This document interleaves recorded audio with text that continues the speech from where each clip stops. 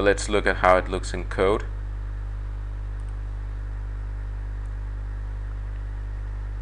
So we have them down here. Uh, this is basically one drop-down list. Uh, there's a drop-down list, and then there's the binding to the uh, the OS ID, and then there's here's the uh, the data source, and it's configured with a select and connects the string, and then that's it. And then for the for the edit item or for the normal display item, uh, there's just the OS name. So what you should note here is that uh, for this to work, um, this uh, this column in the data grid needs both an OS ID and an OS name. So the select statement of the um, oh, where is it? Um, the main data source for the data grid, uh, the select statement, here it is, must uh, return both of these values, although uh, it's only the OS name that is displayed.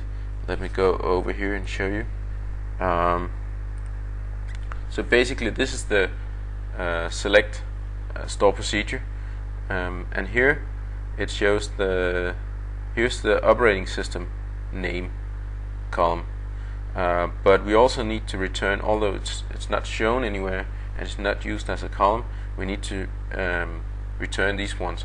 Otherwise the um, the data grid won't be able to bind and please note, note that uh, it's important that this um, the name of this column is the same as is used.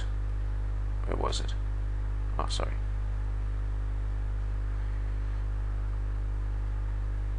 here. And also you should have the same number when you have the store procedure when you want to update and insert. It should also have the same um, name. That's important. Um,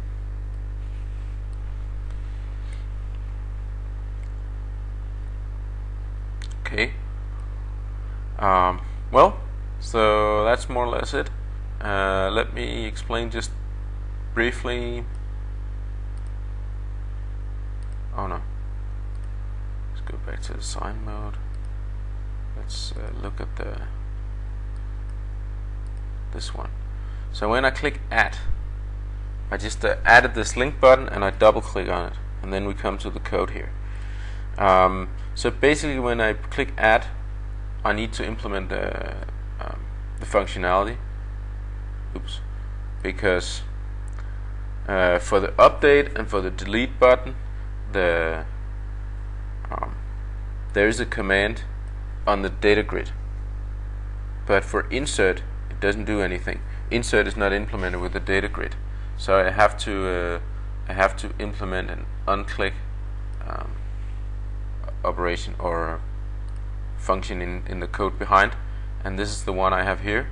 And basically what I have to do here is call insert on the um, data source uh, because it's not done automatically by the data grid. Or sorry the grid view.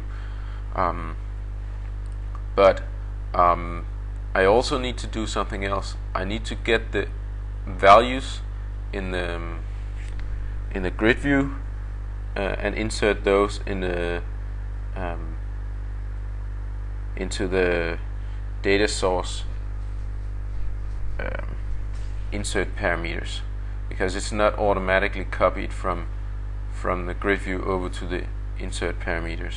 And that's what I'm doing here. So I'm doing it in a little bit funny way so let me explain that.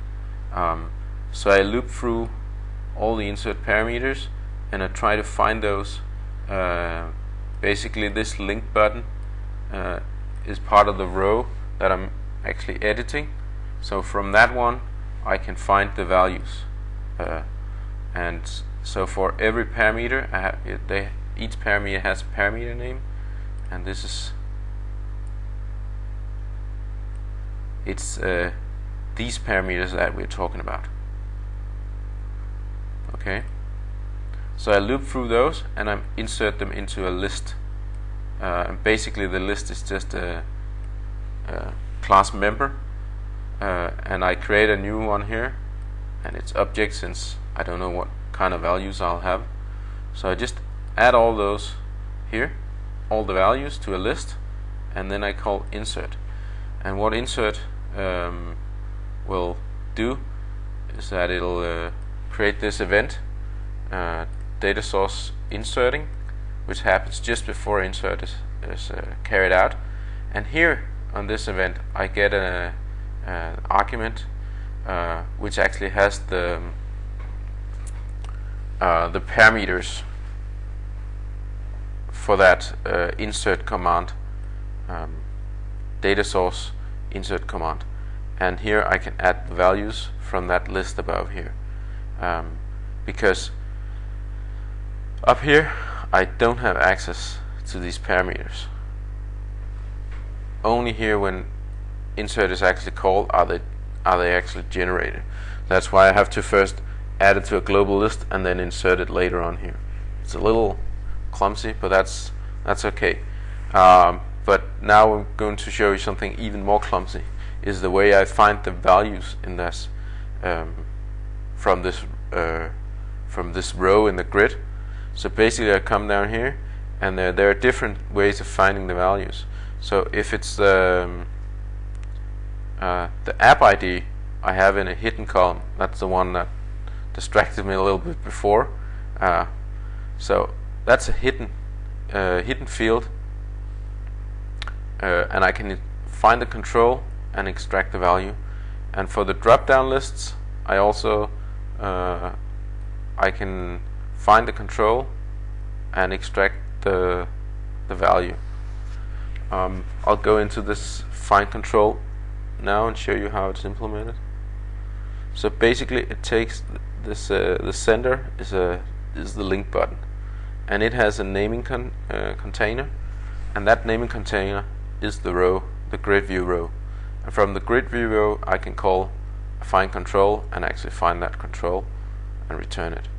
Um, and now it gets a little more tricky because then I have to for the for the admin rights it's a checkbox. So I find the checkbox in a similar manner uh, but the funny thing is here that I can't use uh, find control. I have to do something else, uh, and that's because there's no control ID. Let's go back to this, uh, this code here. Okay, so for the for the drop-down list, there's an ID here, uh, but for these, there is no ID. These are bound bound fields, and there's no ID. So the way I do that, oh sorry, the way I do that is um,